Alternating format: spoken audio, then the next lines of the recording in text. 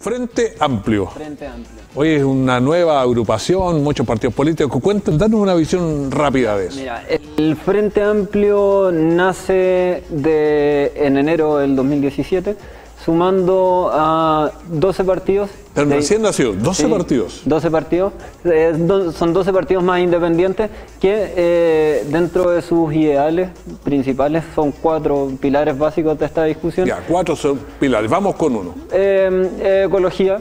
Ya. crear un modelo ecológico y sustentable. Ya otro que es fundamental, que es el cambio del modelo neoliberal, que es una de las cosas que, buscan eh, este conglomerado de partidos y también de ¿Y por cuál lo proponen? ¿Cómo? Dejan el sistema neoliberal, pero... No, se busca un cambio hacia la recuperación de derechos en diferentes aspectos. Por ejemplo, recuperar el derecho a la salud, a una educación de eh, salud de, mejor manera, eh, educación gratuita y empezar a trabajar los temas con eh, mirar a las personas como ciudadanos, no como consumidores, mm. como lo que actualmente construye este sistema, este modelo. Pero cuando uno piensa en educación gratuita, todo gratuito, ¿dónde sacamos la plata? No, no, no. Porque Chile en este minuto está ya endeudado hacía desde el año 94 no teníamos tantas deudas. Claro, no se plantea, por ejemplo, hay temas que son bastante importantes, por ejemplo, el CAE, eh, las deudas eh, que aquejan a gran parte de los, de los estudiantes que estudiaron con, este crédito.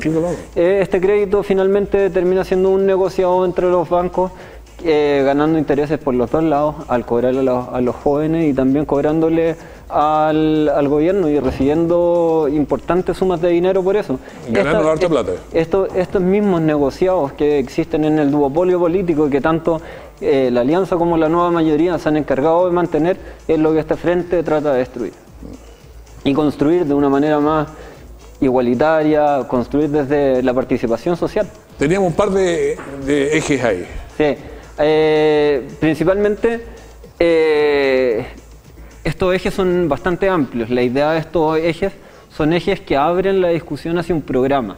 Mm. La idea de que este sábado también vamos a tener una jornada de, de participación ciudadana en base a la construcción de un programa político. Este programa político invita a levantar las problemáticas sociales de las zonas. Por ejemplo, acá en Linares los temas de agricultura, eh, o sea, no en Linares, en el Maule en general y diferentes temas, son temas que eh, afectan fundamentalmente a esta zona y a esta zona y a todo el país, básicamente. Y se levantan estas problemáticas preguntándole a la gente y en base a esa pregunta, en base a esa alternativa y soluciones que se proponen, pasan a otros procesos que son más de eh, costeo económico, evidentemente, y después una etapa de priorización que va a un, a un plebiscito nacional, donde se va a eh, plebiscitar cuál va a ser el orden de, eh, de prelación, digámoslo así. ¿Cómo van a ser plebiscito nacional ese? A través de redes, la verdad las cosas, ha sido bastante fácil la, la comunicación de manera virtual porque existe al interior de este conglomerado un partido político que se llama Partido Pirata, que es un partido que, nace en, el extranjero como muchos otros, eh, tomando las libertades virtuales como una manera de participar y acercar también a la gente a través de esto. Así que hay varias ventajas en tener mayor participación. Lo que buscamos eh, es lo que no, ha buscado, no se ha buscado durante mucho tiempo es construir un programa desde los problemas de la gente.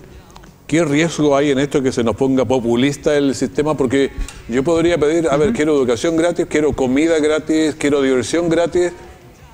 Evidentemente, pero después, evidentemente cuando uno le pregunta a las personas, las personas no, no, dicen quiero todo gratis. Quiero bonos, ¿no? No, la, la verdad las cosas yo tengo una mirada y también una he participado muchas veces preguntándole a la gente y la gente no quiere todo gratis. Ese es un, es un malentendido que muchas veces cae y se trata de satirizar algunos, eh, derechos, algunos beneficios, algunos derechos sociales, como por ejemplo la educación, que dicen, bueno, quieren educación gratis y quién la va a pagar y cómo, pero eh, la educación finalmente termina siendo un derecho y todos lo sabemos. No Pero ahora escuchaba que, que ya no alcanza la plata para la educación y que, bueno, la universidad es una llantera más o menos grande. Claro, es que tenemos que tener, eh, tenemos que ten- entender que la plata no va a alcanzar si la siguen mal administrando, porque lo que se hace es una mala administración de la plata. Lo que estábamos hablando anteriormente, el CAE, un negociado tremendo entre los bancos y el Estado, que finalmente terminan afectando a los deudores que hoy en día son muchísimos. Eso, esos negociados son los que hay que terminar.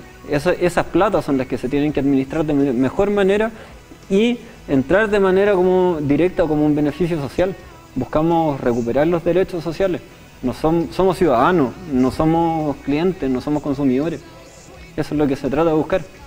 Tiene una reunión ahora. Sí, ma- mañana eh, todos, todos y todas invitados al colegio de profesores. Ahí vamos a discutir con todas las personas, con varios territorios. Viene gente de todo el Maule Sur, Parral, eh, Villalegre, San Javier.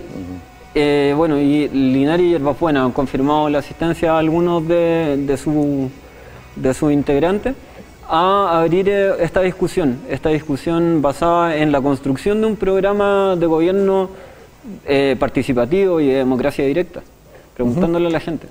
Bueno, te agradezco, Ricardo, haber estado con nosotros para contarnos un poquito gracias a ti. Gracias. Ricardo Tapia del Frente Amplio. Pausa, volvemos.